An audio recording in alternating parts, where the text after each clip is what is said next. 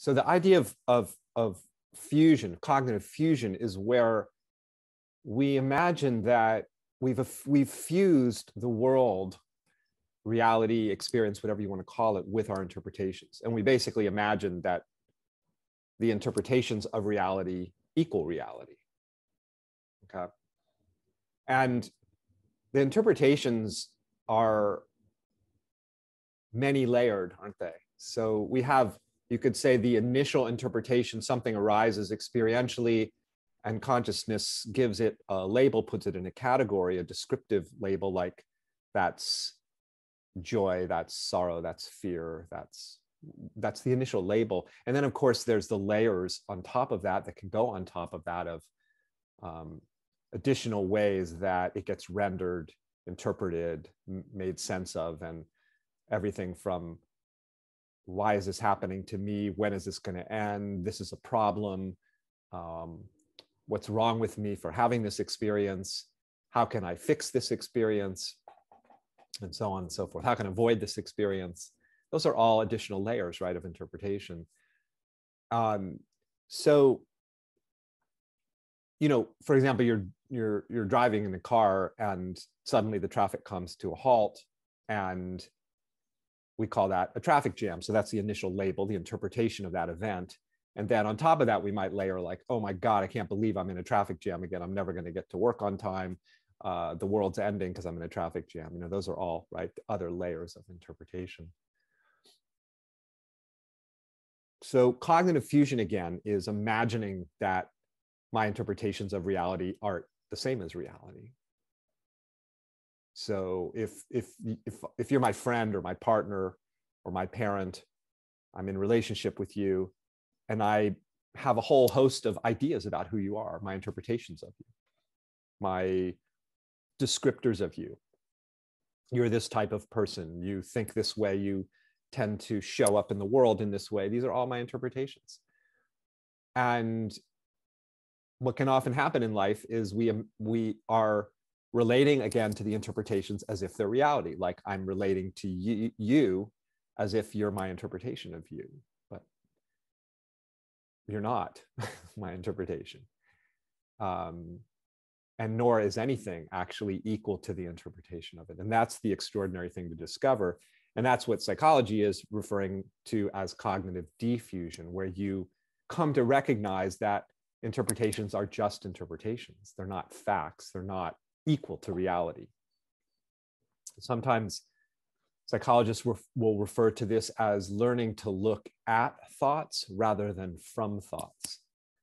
Um, so when we're looking at from the thinking, if you will, from the, the view of interpretation, it's as if we're our interpretation is a pair of glasses and we're so fused with that view that we imagine that view is the truth. I mean, um, if you want to see quick evidence of cognitive fusion, just turn on cable news and listen to people debate about politics. People are totally fused with their interpretations or seemingly largely fused with them. They imagine that their interpretations are equal to reality. And they're not. Their interpretations. They're not, it's not as if the interpretations have no validity. Um, I, I'm not, I don't mean that at all. But what's going on here is always more than we think is going on here. It's always, the experience itself is always transcending the interpretation. So, in my example of the person in our life, and we have all these interpretations and ideas and boxes that we put these people in that we know, including, of course, ourselves. because we have all sorts of interpretations of what we are and who we are and what we're capable of and what our limitations are and our on and on and on and on. And the the thing itself the experience itself whether it's of another person of ourselves of the events of life always transcends what we think it is. It's always more. It always um, is beyond the categories. The categories the descriptions can't contain what's here. And because what's here is too vast it's too there's too much uh, information you could say. There's too much detail there's too much complexity for it to ever be captured adequately in any of the interpretations. And this is the essence of i mean this last book that i wrote this extraordinary moment is is the the whole book is really like a meditation on this basic idea of fusion and defusion of of coming to see that what's here um, can't actually be interpreted. Not not uh, comprehensively not definitively. It is being interpreted um, to one extent or another at least a lot of aspects of it are being interpreted. So how how how do we come to see how do we essentially um well let me say this first that it's almost as if there's the event of this instant of this moment and then the interpretation of it that's sort of layered on top of it. And as if it's as if it seems as if they're smeared together they're sort of fused together right?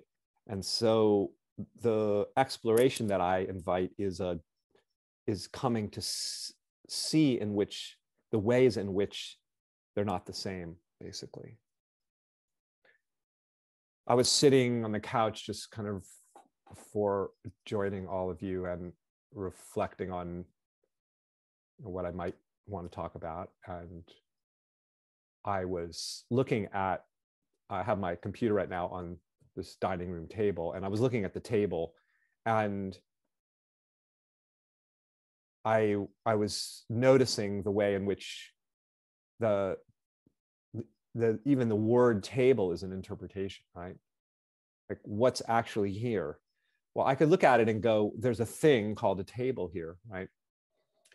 But if I actually feel, and this is this is the simple way of defusion as I see it, which is to feel what's here, to feel the presence of our experience.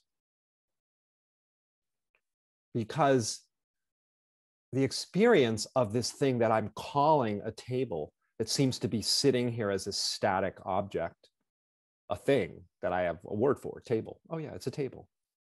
That's an interpretation.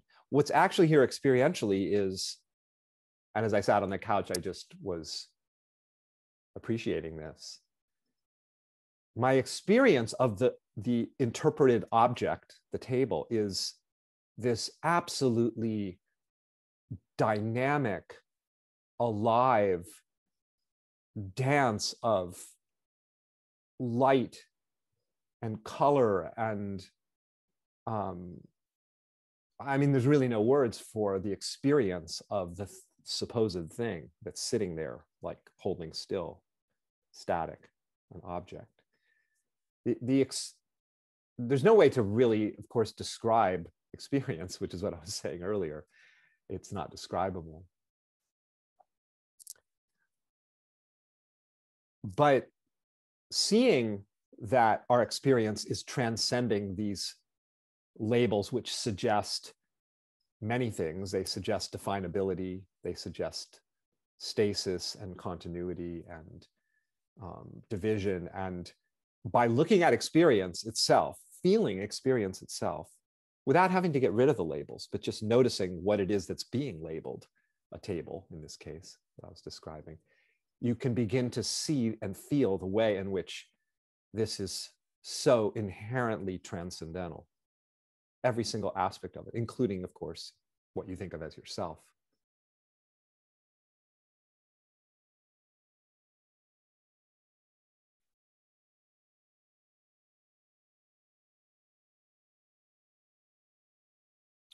Uh, let me let me read um, apropos this a, a passage from um,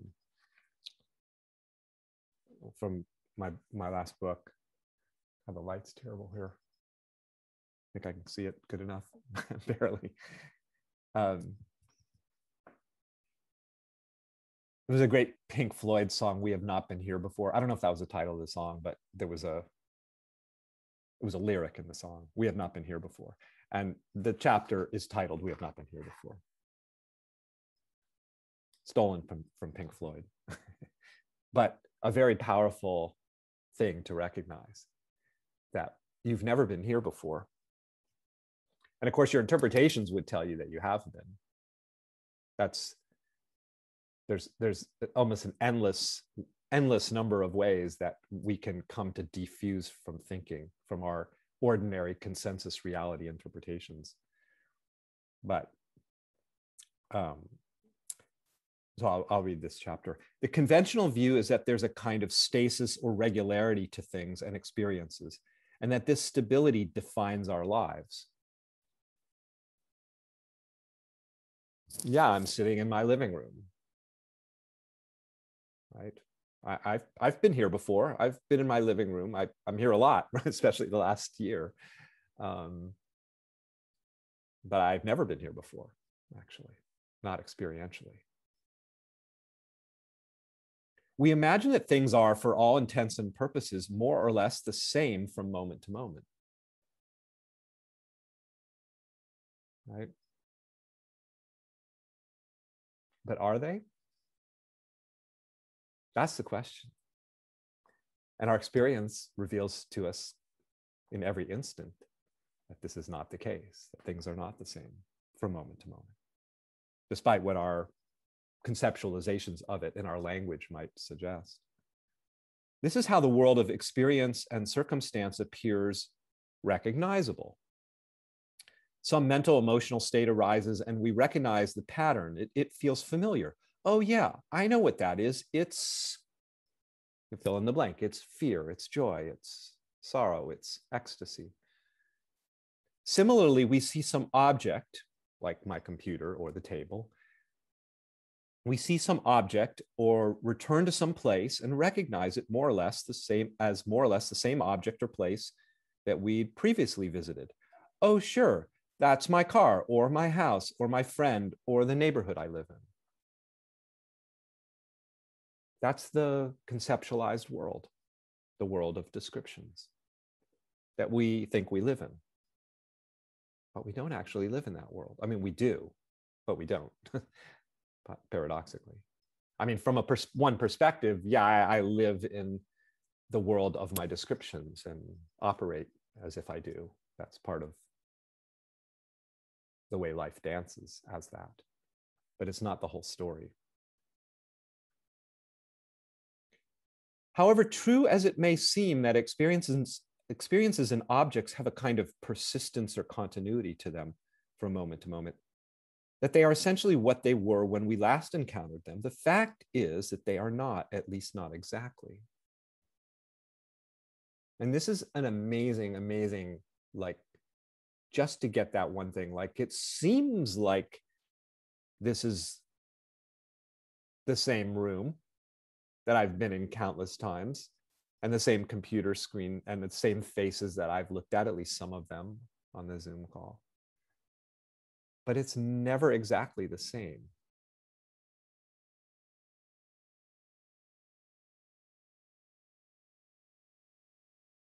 Your friend or that emotion you're being visited by may look, feel, or behave in such a way that makes it seem recognizable to you. But the fact is that we've never actually experienced this moment before.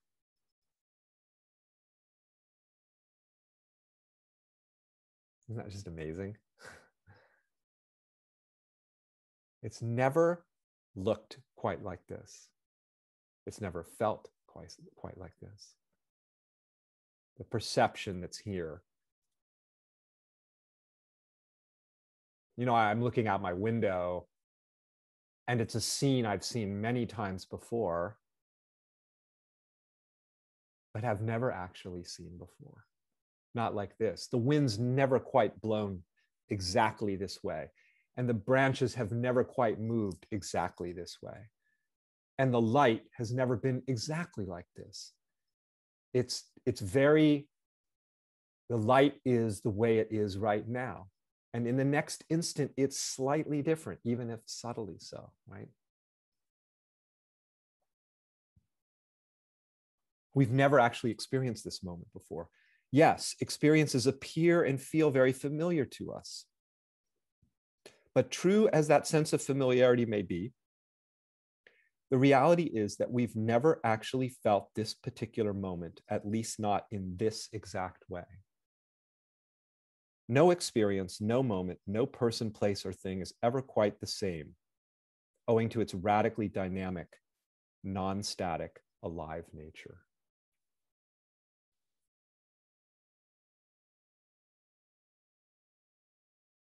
Imagine being transported to another world, a planet that's utterly foreign to you.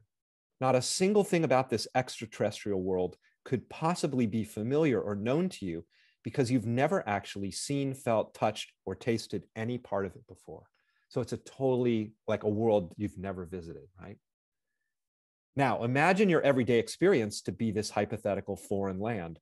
Whatever way you might conventionally describe what's happening, holding a glass of water in your hand, seeing a cloud filled sky, hearing the sound of traffic on the street, feeling the wind upon your face. Just go ahead and notice whatever is present here, traveling through this heretofore unseen world, exploring the remarkable experiential landscape that lies before you. This is this is the planet that you've never been on ever right now. It's absolutely um, like you're born anew in each instant. Both what is being seen and the apparent one seeing it, i.e., you, are reborn in every instant, fresh, every instant, absolutely new.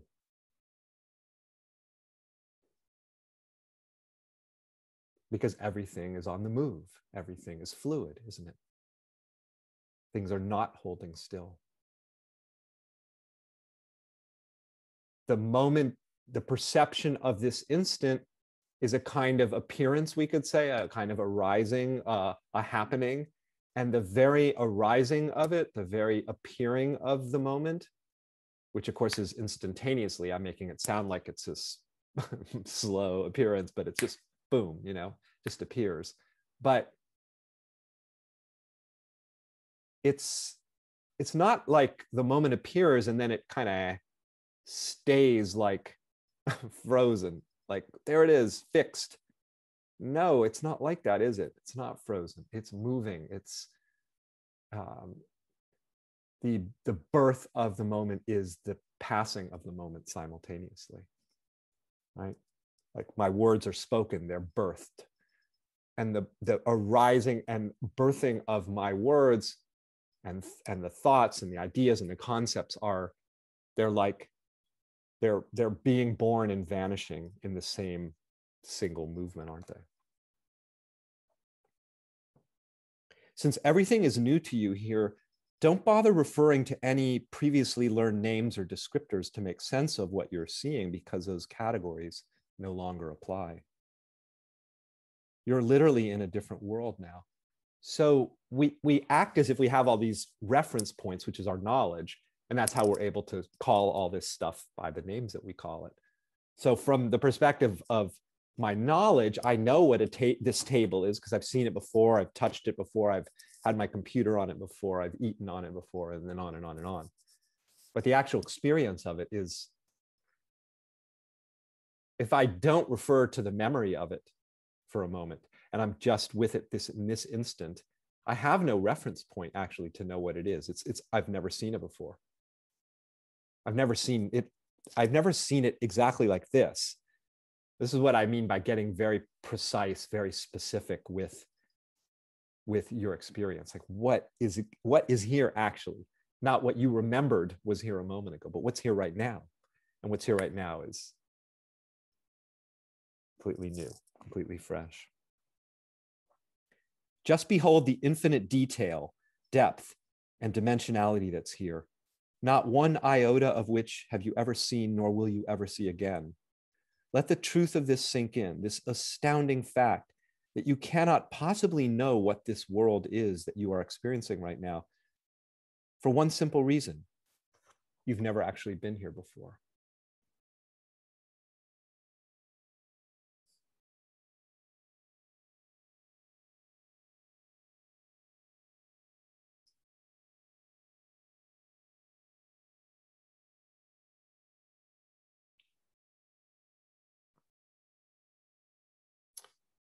Just as you're sitting here, just feel the feel the way in which your experience is not holding still. Notice that. That the, the perceiving of the instant is alive, it is fluid. It's like a, a constant opening into something else.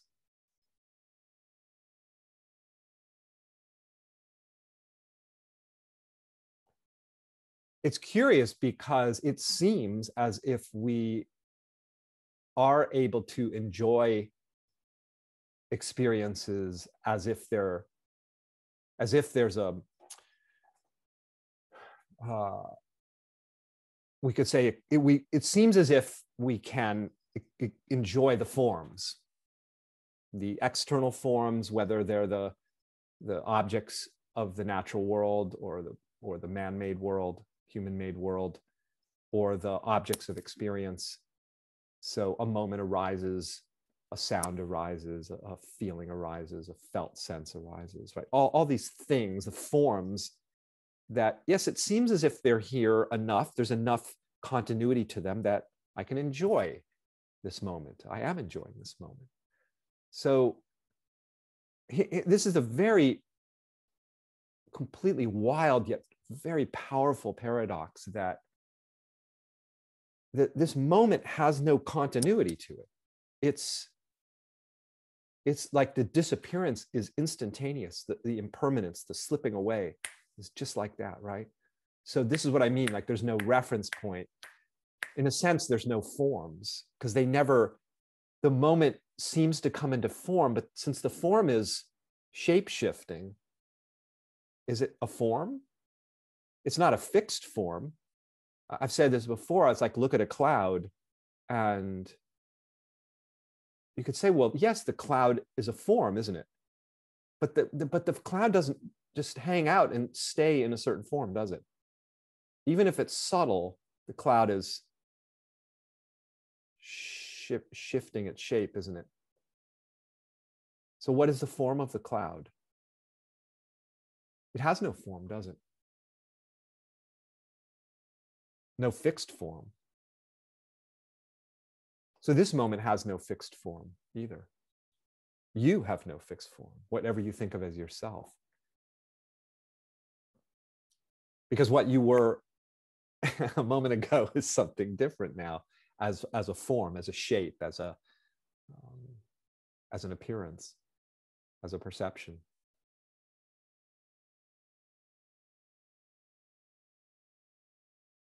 so the paradox that really is a wild one is that it certainly looks like the forms are holding still enough so that we can enjoy them, the ones that are so called internal to us and external to us. But if we really look, we can see that the forms are, as the Buddhists would say, empty. Empty in the sense of having identity. You can't really identify the form because whatever you just identified is now gone. So how can you identify the form? Which is that that's the saying in Buddhism that form is empty and emptiness is form. Well, that sounds, what do you mean? It's like come on, you got to tell me it either has form or it's without form. It's got to be one or the other. but it isn't that way. It's both and beyond both. The formlessness of this, because it never quite takes a definite form, shows up as apparent forms, doesn't it? Just like each one of you, each one of us is an apparent form with a, a kind of seeming continuity to it, right?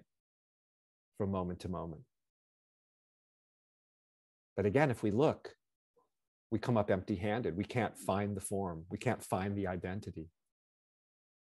So that's the paradox. I seem to know what things are, but if I actually look, I can't really know and define what they are, owing to their ever morphing dynamism, right? Everything that I've been saying, none of it is philosophy it's our actual experience right now.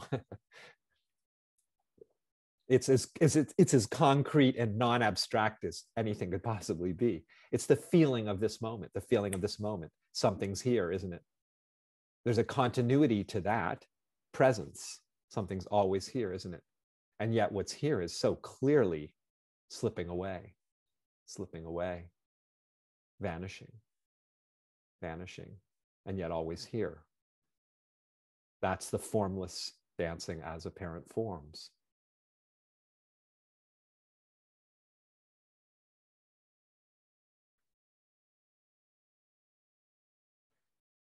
and it's also i mean one of the really pragmatic if you will implications of this discovery of the ever liquefying nature of this is that the notions that we have as humans of being caught in things and stuck in things is what did i write?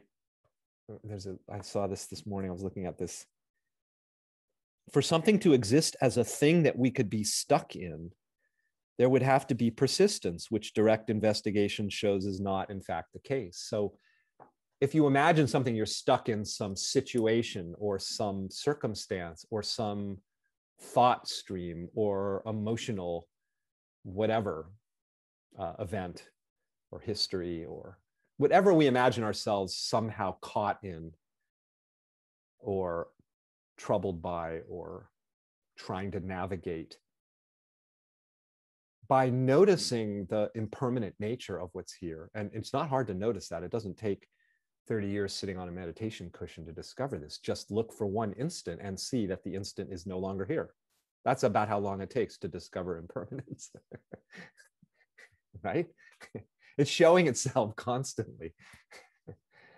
Here it is. Boom gone so seeing that it's like